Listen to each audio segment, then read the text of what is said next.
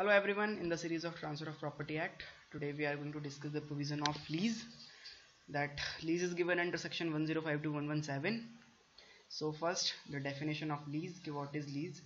So मैं आपको एक जनरल इंट्रोडक्शन देता हूँ लीज के बारे में लीज का मतलब होता है एक प्रॉपर्टी में ट्रांसफ़र हो रहा है लेकिन जो प्रॉपर्टी का ट्रांसफ़र हो रहा है वो एक सर्टेन इंटरेस्ट ट्रांसफ़र हो रहा है उसमें पार्शियल इंटरेस्ट ट्रांसफ़र हो रहा है उस प्रॉपर्टी में मतलब लीज जब ट्रांसफ़र लीज जब किसी प्रॉपर्टी का होता है तो उसमें सिर्फ़ एक इंटरेस्ट ट्रांसफ़र होता है और वो ट्रांसफ़र होता है right to enjoy that property that is the possession of that property कि आप जब लीज करते हैं किसी भी प्रॉपर्टी को तो आप किसी प्रॉपर्टी का पोजिशन ट्रांसफ़र करते हैं। बाकी जो अदर राइट right रहते हैं उस प्रॉपर्टी में अदर जो राइट right हैं उसमें जैसे उस प्रॉपर्टी की जो ओनरशिप है, उस प्रॉपर्टीज़ में या फिर कोई अदर रेंट या प्रॉफिट है या फिर कुछ और भी चीज़ हैं वो एक्रू कर रहे हैं तो वहाँ पे वो जो अदर राइट्स हैं, वो इस प्रॉपर्टी के लीज में ट्रांसफ़र नहीं हो रहे। लीज में सिर्फ़ specific right to enjoy that property उस प्रॉपर्टी का जो पोजेशन होता है लीज में वो ट्रांसफ़र होता है। लीज का जो डेफिनेशन जो है, वो सेक्शन 105 में दी है। 105 बात करता है लीज ऑफ़ इमूवेबल प्रॉपर्टी जो लीज होता है, वो हमेशा इमूवेबल प्रॉपर्टी का होता है। कभी भी जो लीज होगा, वो मूवेबल प्रॉपर्टी का नहीं होगा। लीज हमेशा इमूवेबल प्रॉपर्टी का होता है। लीज ऑफ़ इमूवेबल प्रॉपर्टी अगर सपोज़ मान लीजिए कोई प्रॉपर्टी मूवेबल है, और उसका पोजीशन हमें किसी को देना होता है तो वो कहलाता है बेलमेंट बेलर और बेली के जो राइट वहाँ पे आते हैं, जो कॉन्ट्रैक्ट एक्ट से गवर्न करते हैं इंडियन कॉन्ट्रैक्ट एक्ट से लीज यहाँ पे है इमूवेबल प्रॉपर्टी के लिए है तो इमूवेबल प्रॉपर्टी के लिए जब ट्रांसफ़र हो रहा है तो वो लीज कहलाएगा. और वहाँ पे जो ट्रांसफ़र होगा, वो सिर्फ़ राइट टू एंजॉय है. तो डेफिनेशन बात करते हैं lease of immovable property is a transfer of a right to enjoy such property उस प्रॉपर्टी का जो राइट right है, उसको एन्जॉय करने के लिए ट्रांसफ़र किया जाता है।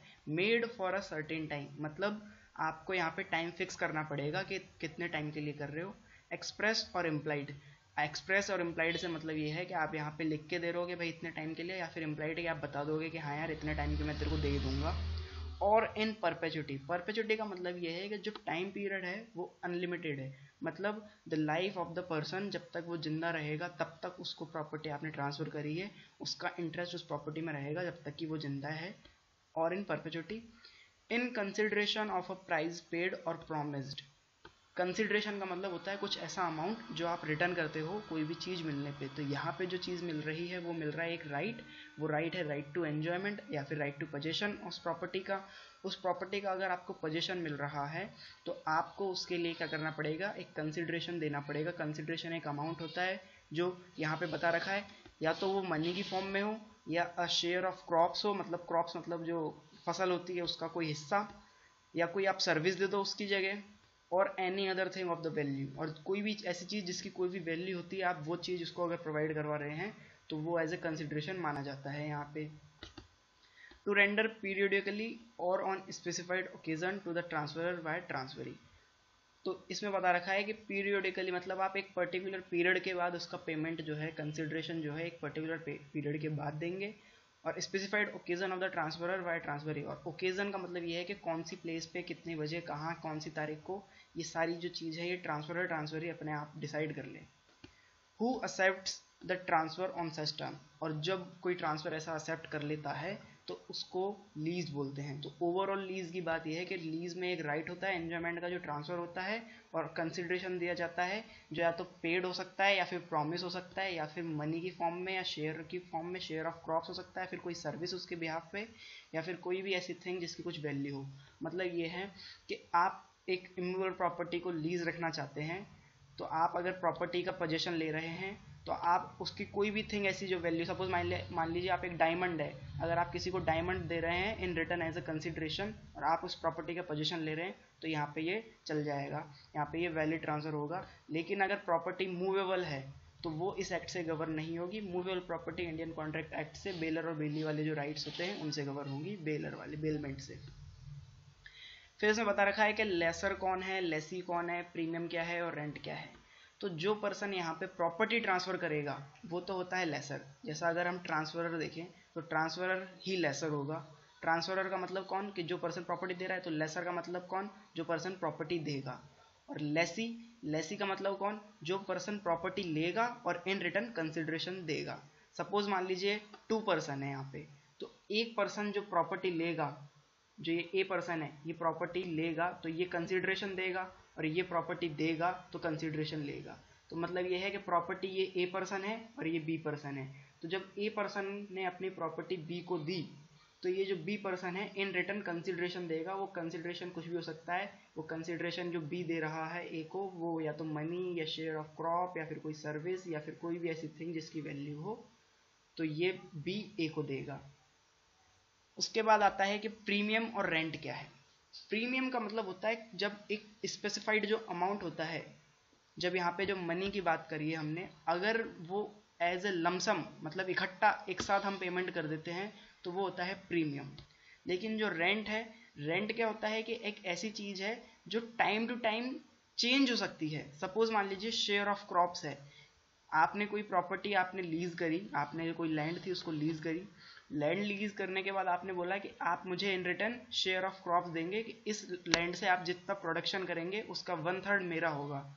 तो हर बार हो सकता है कि लैंड से जितना प्रोड्यूस हो रहा है हर महीने या हर साल, जितना प्रोड्यूस हो रहा है, ऐसा ज़रूरी नहीं, हमेशा बराबर होगा। तो वो ज़्यादा भी हो सकता है और वो कम भी हो सकता है जो प्रोड्यूस हो रहा है लैंड से। तो वो शेयर ऑफ़ क्रॉप्स का मतलब यहाँ पे एज एग्ज़ाम्पल लेके चल रहे हैं अपन। तो जो रेंट है, वो कम भी हो सकता है और ज़्यादा भी हो सकता है। लेकिन जो प्रीमियम है, वो एक ऐसा अमाउंट होगा का जो फिक्स होगा, जो एक बार में पे किया जाता है। अब हम आगे बात करते हैं इस प्रोविज़न की, जो सेक्शन 106 में बात करिए कि duration of lease in the absence of return contract or local usage कि जो आप लीज दे रहे हैं किसी पर्सन को तो उसकी ड्यूरेशन क्या होती है? उसके बारे में बात करी है यहाँ पे। तो ये बात करता है कि in the absence of a contract or local law or usage to the contrary जब तक कोई भी ऐसा कॉन्ट्रैक्ट या फिर कोई भी लोकल लॉ या फिर कोई भी ऐसा यूजेस नहीं माना जाएगा या फिर नहीं है वहाँ पे, या फिर कोई कॉन्ट्रैक्ट जो बन रहा है, लोगों के बीच में, दो लेसर और लेसी के बीच में जो एग्रीमेंट हो रहा है, वो नहीं है तो क्या होगा? अ lease of property immovable property for agriculture or manufacturing purpose shall be deemed to be a lease from year to year तो कोई भी जो लीज जो आप दे रहे हैं अगर वो एग्रीकल्चर लैंड के लिए या फिर मैन्युफैक्चरिंग प्रोसेस के लिए? या तो आप एग्रीकल्चर प्रोसेस के भाग आप कुछ उगा सकते हो, उस पर कोई भी फ़सल उगा सकते हो, या फिर कोई भी मैन्युफैक्चरिंग मैन्युफैक्चरिंग का मतलब कोई भी चीज़ जिससे कोई चीज़ प्रोड्यूस हो सके रॉ मटेरियल से फाइनल गुड बनने की प्रोसेस जो मैन्युफैक्चरिंग प्रोसेस होती है। तो अगर वो ऐसा कोई भी काम हो रहा है तो वो उसको हमेशा जो आप लीज दोगे, वो हमेशा ईयर टू ईयर होगी। फिर बात आ रही है टर्मिनेबल अब अगर टर्मिनेबल का मतलब होता है कि ख़त्म करनी है on the part of either lessor or lessee तो अगर जो ये एग्रीकल्चर और मैन्युफैक्चरिंग पर्पज के लिए आपने लीज दी, अगर आप इसको ख़त्म करना चाहते हैं तो ये कोई भी लेसर या लेसी ख़त्म कर सकता है बाय सिक्स मंथ्स नोटिस तो ये सिक्स मंथ्स का आपको एक नोटिस देना पड़ेगा पहले कि आज मैं आपको नोटिस दे रहा हूँ कि छः महीने बाद मेरी ये प्रॉपर्टी इसको खाली कर दे, मेरी ये लैंड इसको खाली कर दे। ये छः महीने बाद का प्रोसेस है छः महीने पहले आपको मतलब नोटिस देना पड़ेगा अगर एग्रीकल्चर और मैन्युफैक्चरिंग प्रोसेस है। फिर बात करता है and a lease of immovable property for any other purpose shall be deemed to be a lease from month to month और अगर एग्रीकल्चर और मैन्युफैक्चरिंग पर्पज के अलावा कोई पर्पज के लिए आप लीज दे रहे हैं किसी को सपोज़ मान लीजिए आपने लीज दी है कोई भी ऐसी लैंड की कि आप यहाँ पे मैरिज होम चला लीजिए तो मैरिज होम ना तो एग्रीकल्चर पर्पज़ के लिए ना मैन्युफैक्चरिंग पर्पज़ के लिए तो अगर उसने लीज दी है एग्रीकल इस मैरिज सेरेमनीज को कंटिन्यू करने के लिए या फिर मैरिज सेरेमनी के प्रोग्राम को होल्ड करने के लिए तो वो जो लीज दी जाएगी, वो मंथ टू मंथ दी जाएगी। मतलब हर महीने दी जाएगी, एक महीना, फिर एक महीना, फिर एक महीना, फिर एक महीना, ऐसे करते जा सकते हैं। On the part of either lessor or lessee terminable जो होगा मतलब खत्म जो होगी, वो लेसर लेसी कर सकते हैं बाय 15 डेज़ नोटिस ऊपर जब एग्रीकल्चर मैन्युफैक्चरिंग की बात थी तो सिक्स मंथ का नोटिस था, यहाँ पे कोई भी अदर पर्पज है तो पंद्रह दिन का नोटिस है। लेकिन वो कब है? जब कोई भी कॉन्ट्रैक्ट नहीं है। अगर लेसर और लेसी ये कॉन्ट्रैक्ट कर लेते हैं कि मैं आपको मेरी प्रॉपर्टी की जो मेरी लैंड है, इसको मैं लीज दे रहा हूँ पाँच साल के लिए, आप इस पर कोई भी शादी समारोह का प्रोग्राम करवा सकते हैं। तो यहाँ पे इनके बीच में जब कॉन्ट्रैक्ट बन चुका है तो फिर आप ऐसा नहीं कह सकते कि जो अदर पर्पज है तो वो एक महीने का होना चाहिए। अगर वो पाँच साल के लिए भी बन रहा है तो पाँच साल के लिए बन सकता है, अगर कॉन्ट्रैक्ट हो जो है पहले तो। फिर इसका सब क्लोज टू बात करें notwithstanding anything contain in the any other law for the time being force मतलब इसका ये है कि कोई भी चीज़, कोई भी बात किसी भी लॉ में कहीं भी कुछ भी लिखी हो। The period mention in subsection one shall commence from the date of receipt of notice जो ये नोटिस की बात है कि छः महीने और पंद्रह दिन छः महीने जब एग्रीकल्चर और मैन्युफैक्चरिंग की बात है, पंद्रह दिन कब जब कोई अदर पर्पज है एग्रीकल्चर और मैन्युफैक्चरिंग के अलावा तो जो नोटिस का डेट माना जाएगा वो उस दिन से माना जाएगा जिस दिन आपको नोटिस रिसीव होगा। उस दिन से नहीं माना जाएगा, जिस दिन से आपने पोस्ट किया है। जैसा कि कॉन्ट्रैक्ट में हम जब रिवोकेशन या फिर एक्सेप्टेंस भेजते हैं, उस दिन वाली बात को नहीं मानते। यहाँ पे नोटिस माना जाएगा जिस दिन रिसिप्ट हो चुका है। सब क्लॉज थर्ड बात करता है नोटिस अंदर subsection one shall be not duty to be invalid merely because period mention therein fall short of the period specified अंदर सबसेक्शन जैसा कि यहाँ पे पीरियड बता रखा है छः महीने और पंद्रह दिन नोटिस वाला। तो सिर्फ़ इस कारण से हम इनवैलिड नहीं मानेंगे कि ये जो छः महीने और ये जो पंद्रह दिन का पीरियड है, ये शॉर्ट पड़ रहा है। कैसे? सपोज़ मान लीजिए किसी पर्सन को आपने लीज दी एक फरवरी, एक जनवरी 2019 से आपने लीज शुरू करी कि एक साल के लिए आपको मैं लीज दे रहा हूँ। अब एक साल के लिए जब आपने लीज दी है किसी पर्सन को, और अगर आपको उससे खाली करवानी है, उसको टर्मिनेट करवाना है लीज को तो आपको एक नोटिस देना पड़ेगा। और जो टर्मिनेट का नोटिस है, वो लेसर लेसी कोई भी दे सकता है, यहाँ पे दोनों के पास राइट है। तो सपोज़ मान लीजिए लेसर बोल रहा है कि मेरे को मेरी ज़मीन वापस चाहिए, मेरे को ये लैंड वापस करो तो वो छः महीने पहले नोटिस देगा। तो मतलब जैसे ही जो छठा महीना आएगा, एक छः दो हज़ार उन्नीस जैसे ही आएगा तो उस दिन आपको ये नोटिस उस पर्सन के पास पहुँच जाना चाहिए। तब तो फिर आप एक दिसंबर 2020 एक दिसंबर 2019 को आप एक एक दिसंबर नहीं, एक जनवरी 2020 को आप ये ज़मीन खाली करवा लोगे। तो क्योंकि छः महीने प्रायर लेकिन अगर सपोज़ मान लीजिए, आज आठवां महीना चल रहा है, आठवां महीना 2019 का चल रहा है मतलब अगस्त का महीना चल रहा है 2019 का। अब आपको नोटिस देना है तो जब छः महीने का अगर आप नोटिस दोगे उसको, क्योंकि एग्रीकल्चर या मैन्युफैक्चरिंग पर्पज़ के लिए आपने दे रखा है वो काम तो यहाँ पे छः महीने कम पड़ेंगे क्योंकि आठवां महीना चल रहा है और एक साल में बारह महीने होते हैं और आपने एक साल के लिए लीज दी थी।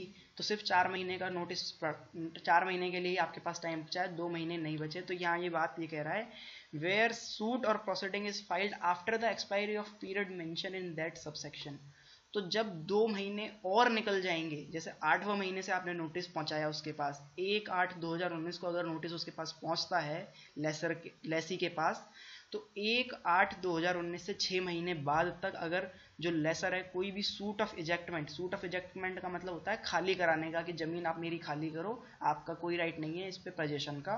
तो वो होता है सूट ऑफ़ इजेक्टमेंट अगर वो सूट फ़ाइल नहीं करी है छः महीने तक मतलब तीन, एक मार्च 2020 तक अगर उसने ये जो सूट है, ये फ़ाइल नहीं करी है तो जब इस ग्राउंड पे इनवैलिड नहीं मानी जाएगी वो जो नोटिस आप दे रहे हो, वो इस ग्राउंड पे इनवैलिड नहीं माना जाएगा। अगर वो एक मार्च 2020 तक नोटिस जो सूट है, नहीं फ़ाइल करता है तो एक मार्च 2020 के बाद उसके पास राइट है कि फिर वो खाली करवा ले।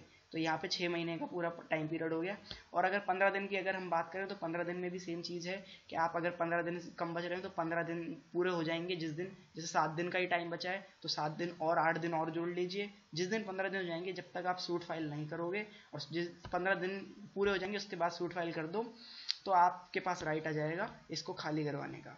सब क्लोज फोर बात करता है every notice under subsection one must be in writing signed by or on behalf of the person giving it तो जो आप नोटिस दे रहे हो यहाँ पे, जो लेसर या लेसी जो भी नोटिस दे रहा है, वो उस नोटिस को साइन करके देगा। साइन करके किसको देगा? अगर लेसर दे रहा है लेसी को तो वो साइन करके देगा, या फिर लेसी दे रहा है लेसर को तो वो साइन करके देगा। तो यहाँ पे साइन होना ज़रूरी है लेसर या लेसी का। फिर इसमें बात करिए and either by sent or by post to the party who is intended to be bound by it और उसको सेंड कर सकता है या फिर पोस्ट कर सकता है, कैसे भी पोस्ट से कर दे। और tender or deliver personally to such party, या तो पोस्ट कर दे उस लेटर को, या फिर हम डिलीवर कर दें डायरेक्ट जाके, और one of his family or servant at his resident अगर वो घर पे भी नहीं मिल रहा है तो उसके फैमिली मेंबर या रेजिडेंट रेजिडेंट जो उसका हाउस है, उस पर वहाँ पे जाके रेजिडेंस पे जाके देखे आ जाओ, जो मिल रहा है आपको उसका फैमिली मेंबर फिर इसमें बात करी है कि if such tender or delivery is not practical अगर ऐसा प्रैक्टिकल नहीं है, आप घर भी नहीं जा सकते, आप पोस्ट भी नहीं भेज सकते तो आप कोई भी कॉन्सपिक्यूअस प्लेस जो होता है जो आपने प्रॉपर्टी आपने ट्रांसफ़र करी है, जिसको आपने लीज दिया है, वो उस प्लेस के आसपास कोई भी ऐसा पार्ट जो इजीली नोटिसेबल हो, उस पर्सन को लेसी को, या फिर लेसर को, जो भी नोटिस दे रहा है उसके अगेंस्ट वाले पर्सन को, वहाँ पे आप इसको पेस्ट कर देंगे तो ऐसा मान लिया जाएगा कि नोटिस सर्व हो गया है खाली कराने का। फिर इसमें बात करिए कि लीज हाउ मेड कैसे लीज मेड होगी? लीज बनाने का कैसे तरीका क्या तरीका है? लीज कैसे बनती है? A lease of immovable property from year to year or from any term exceeding one year or reserving a yearly rent can be made only by register instrument. अगर आप कोई लीज बनाते हैं जो एक साल से ज़्यादा की या फिर एक साल तक की है और उसमें ईयरली रेंट रिज़र्व भी कर रहे हैं कि इतना रेंट हम फिक्स करके इतना लेंगे मतलब एक प्रीमियम के अमाउंट मान लीजिए तो वो हमेशा रजिस्टर्ड इंस्ट्रूमेंट होगा। रजिस्टर्ड इंस्ट्रूमेंट होगा तो वो मतलब उसको आपको वहाँ पे रजिस्टर करवाना है। फिर इसमें लिखा है all other leases of immovable property may be made either by registered instrument or by oral agreement accompanied by delivery of possession और other leases of immovable property का मतलब ये है कि अगर कोई ईयर टू ईयर वाली लीज नहीं है मतलब कोई ग्यारह महीने की, दस महीने की, आठ, नौ, सात छः पाँच, चार, तीन, दो, एक, कोई भी इतने भी महीने की कोई भी लीज अगर आप दे रहे हैं तो वो या तो आप रजिस्टर इंस्ट्रूमेंट से करवाओ या फिर आप ओरल एग्रीमेंट से करवाओ। लेकिन अगर आपने सपोज़ मान लीजिए ग्यारह महीने की लीज दी या दस महीने या नौ महीने, जितने महीने की भी एक साल से कम की अगर आप लीज दे रहे हैं और आपने एक रिटर्न एग्रीमेंट बना लिया है तो वो रिटर्न एग्रीमेंट या रिटर्न डॉक्यूमेंट जो बना है, उसका रजिस्ट्रेशन होना ज़रूरी है। लेकिन अगर आप रिटर्न एग्रीमेंट नहीं बना रहे, आप ओरल से ट्रांसफ़र कर रहे हो तो कोई रजिस्ट्रेशन की ज़रूरत नहीं होती। Where a lease of immovable property is made by registered instrument, such instrument or where there are more than one instrument, each instrument shall be executed by both lessor और जब आप ये लीज ट्रांसफ़र करते हैं किसी को तो ये लेसर और लेसी इन दोनों के साइन होने चाहिए। अब आप एक नई चीज़ यहाँ ये देखेंगे कि अगर हम सेल करते हैं, अगर हम गिफ्ट देते हैं तो यहाँ पे हमेशा हमको अटेस्टेशन की ज़रूरत होती है तो अटेस्टिंग विटनेस की ज़रूरत होती है। लेकिन लीज में ऐसा नहीं है। लीज में लेसर और लेसी इन दोनों के सिग्नेचर से आप प्रॉपर्टी ट्रांसफ़र कर सकते हैं।